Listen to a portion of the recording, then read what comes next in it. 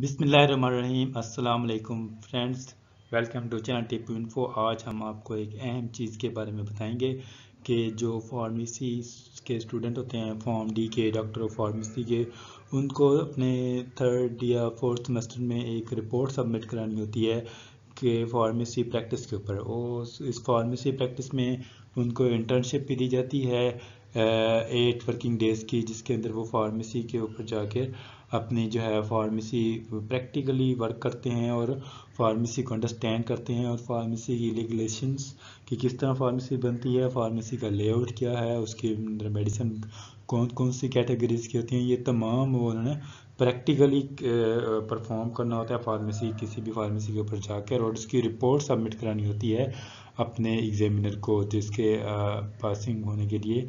पास होने के लिए आपको ये रिपोर्ट्स बनाना बहुत ज़रूरी है। तो आज हम आपको ये बताएँगे कि, कि कैसे फार्मेसी रिपोर्ट बनाते हैं और इसके अंदर कौन कौन सी चीज़ें शामिल करते हैं और इसके अलावा अगर आपको ये पीडीएफ में चाहिए या वर्ड में चाहिए बनी बनाई तो वो भी आपको मिल जाएगी।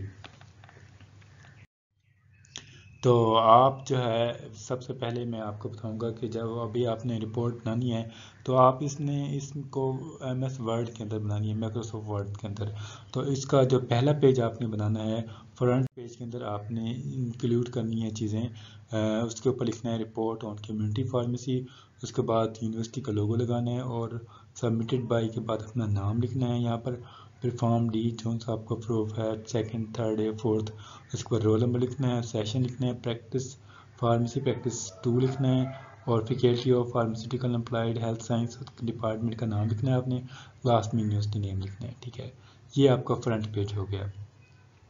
तो आपको एक एक करके भी मैं बताऊँगा उसके बाद एज एट द एंड मैं आपको इसकी फ़ाइल के शेयर का लिंक भी दे दूँगा, ठीक है? डिस्क्रिप्शन में इस फ़ाइल का लिंक भी दे दूँगा, जहाँ पर ये पूरी फ़ाइल एम एस वर्ड में टाइप है। ये तो आपका होगा फ्रंट पेज। उसके बाद आपने देखना है कि जो फार्मेसी रिपोर्ट होती है, उसके अंदर क्या क्या चीज़ें शामिल होती हैं।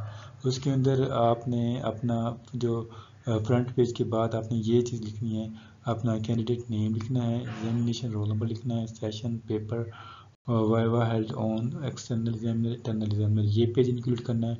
उसके बाद आपने जो है इसके अंदर जो है, इसके अंदर और रिपोर्ट फार्मेसी रिपोर्ट के अंदर आपने शामिल करना है एब्स्ट्रैक्ट और चैप्टर का इंट्रोडक्शंस और ये आप बेसिकली टेबल ऑफ़ कंटेंट देख रहे हैं। चैप्टर टू होगा प्लान ऑफ़ वर्क का चैप्टर थ्री होगा ऑब्जर्वेशंस का चैप्टर फोर होगा कंक्लियन एंड रिकमेंडेशंस का। आखिर में आपने रेफरेंस ज़रूर ऐड करनी है, ठीक है?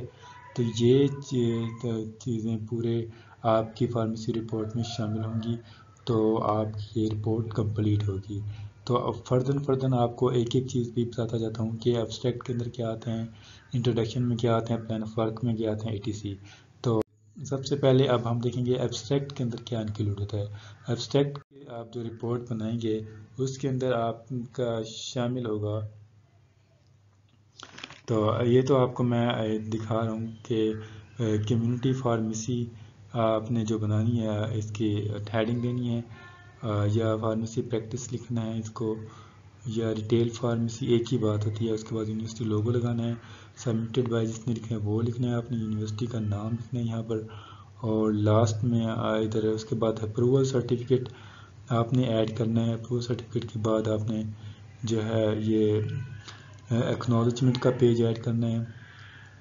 ठीक है अप्रूवल सर्टिफिकेट के बाद आपने एक्नोलॉजमेंट का पेज ऐड करना है। एक्नोलॉजमेंट के पेज के अंदर इसी तरह, इस तरह चीज़ें शामिल होनी चाहिए।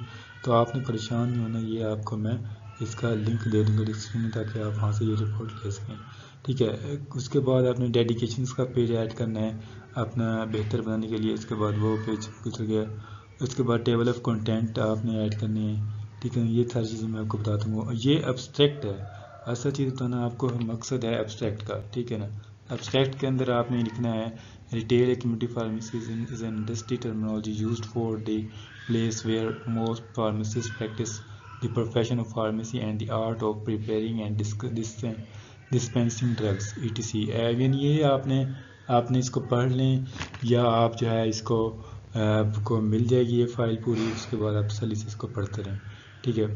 ये आपका हो गया एब्स्ट्रैक्ट एब्स्ट्रैक्ट के बाद आपने जो दूसरा पोर्शन है वो आपने ऐड करना है इसके अंदर।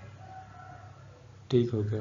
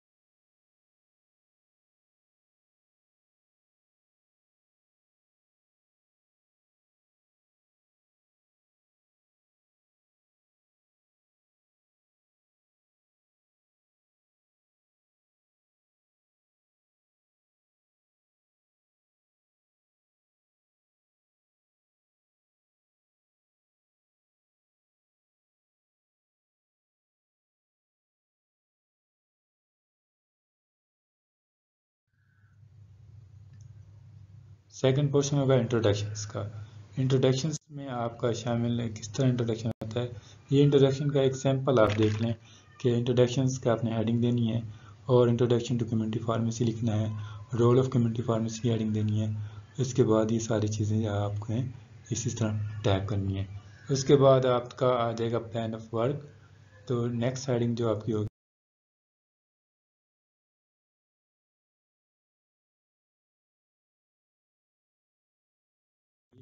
वो होगी plan of work plan of work आपने किस तरह ऐड करना है? तो ये आपको मैं जल्दी जल्दी दिखा रहा हूँ, लेकिन आपने परेशान नहीं होना तो आपको पूरी फ़ाइल मिल जाएगी। उसके बाद आप इसको आसानी से पढ़ते रहें। ठीक है? तो प्लान ऑफ़ वर्क अपनी हेडिंग देनी है, उसके बाद इसको सेट करना है स्टडी प्लेस लिखनी है ड्यूरेशन ऑफ़ वर्क लिखना है। ये सिर्फ़ सैंपल है, इसको आपने कॉपी नहीं करना, आपने अपने हिसाब से लिखना होता है। ये आपका हो गया plan of work plan of work के बाद आपने जो दूसरी हेडिंग देनी है। वो आपका आ जाएगा इसके अंदर ऑब्जर्वेशंस ऑब्जर्वेशंस आपने इसमें ऐड करनी है. ऑब्जर्वेशंस क्या होती हैं? इसमें आपने जो जो आपने day one day two day three day four में आपने किया होगा, वो आपने बताना है कि डे वन में हमने ये किया है डे फोर में ये किया है डे थ्री में ये किया है, वो तमाम चीज़ें आपने इसमें शामिल करनी है. फार्मेसी का लेआउट किस तरह था, वो आपने बताना है. ठीक है उसके गेट किस तरह था, ये वो लेगलाइजेशन सिस्टम फार्मेसी बनती किस तरह है होलसेल किस तरह बनती है, और रिटेल फार्मेसी किस तरह बनती है, जो आपने पहले दिन सीखा, दूसरे दिन सीखा, तीसरे दिन सीखा, ये तमाम चीज़ें जो है आपकी किसमें आती हैं प्लान ऑफ़ वर्क में आती हैं। ठीक है तो इसी तरह आपने हेडिंग वाइज तमाम चीज़ों को इसके अंदर आपने डिस्क्राइब करना है तो आप डे वाइज जैसे हेडिंग देते हैं, उसके अंदर जो चीज़ आपने सीखी है वो आपने बतानी है। ठीक हो गया। जैसे आपने टेम्परेचर चेक किया, इस तरह डे फोर में ऑडिट किया और सर्जिकल आइटम्स आपने देखे डे फाइव में फ्रिज आइटम्स देखे और इसके बाद न्यूट्रिएंट्स एंड फार्मूला मिल्क देखिए, आपने कंपाउंडिंग जनरल ऑब्जर्वेशन देखी आपने, ठीक है? ये तमाम चीज़ें जो है आपने बतानी है अपने प्लान ऑफ़ वर्क के अंदर, ठीक हो गया? प्लान ऑफ़ वर्क के बाद नेक्स्ट आपने हेडिंग देनी है, वो आपकी हेडिंग होगी डिस्कशन या होगी कंक्लूजन रिकमेंडेशंस की, ठीक है? इसके अंदर आपने अपनी रिपोर्ट्स को एंड करना है। तो एंड आपने किस तरह करना है, ये आपको मैं इस स्लाइड में बता रहा हूँ। तो आपने जब डिस्कशन या अपने कंक्लूजन प्लान वर्क की हेडिंग देनी है, उसके बाद इसके अंदर थोड़ी सी डिटेल लिखनी है, इस तरह करके pharmacy act rule two thousand nine seven के बारे में, और ओ टी सी ड्रग जो आपने लिखी है, वो लिखनी है। और उसके बाद आखिर में रेफरेंस आपने ज़रूर ऐड करने हैं, और जो ड्रग लिस्ट आपने पढ़ी हैं वो आपने ज़रूर इसमें लिखनी है। ठीक है, इसी तरह आपने रिपोर्ट को एंड करना है। रिपोर्ट एंड करने के बाद आपने थैंक्स ऑफ़ ज़रूर लिखना है या एंड ऑफ़ डॉक्यूमेंट ज़रूर लिखना है ताकि ये पूरे पेजेस आपको नज़र आ रहे हैं कि आप किस तरह एम एस वर्ड के अंदर ये रिपोर्ट बनाई है आपने और उसके अंदर जिस जिस तरह चीज़ें शामिल की हैं, तमाम जो है मैंने आपको इधर बता दी है। और एट दी एंड में आपको ये, इसकी जो फ़ाइल है, वो भी शेयर कर दूँगा। तो आप इसको देख लेंगे, आपने इसको चैप्टर की हेडिंग किस तरह देनी है और दूसरे पेज पे आपने बिस्मिल्लाह ज़रूर लिखना है और उसके बाद जो है आपने एक पेज आपने हेडिंग के लिए रखना है और उसके बाद सेकंड पेज से उस हेडिंग की डिटेल लिखना शुरू करनी है। ठीक हो गया। इसी तरह आपने ये अपनी फार्मेसी रिपोर्ट बनानी है। तो अगर आप ये रिपोर्ट बनी बनाई आप देखना चाहते हैं तो मुझे डिस्क्रिप्शन में जाके ये रिपोर्ट डाउनलोड कर सकते हैं। ठीक हो गया?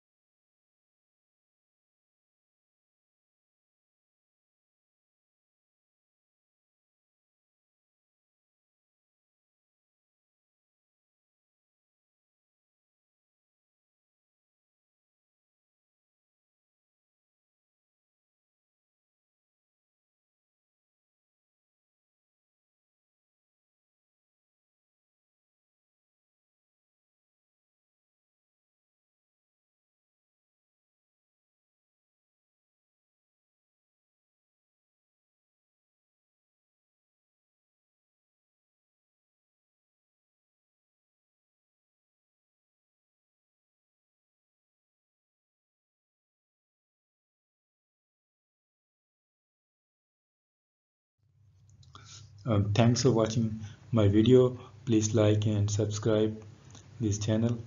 Allah Hafiz.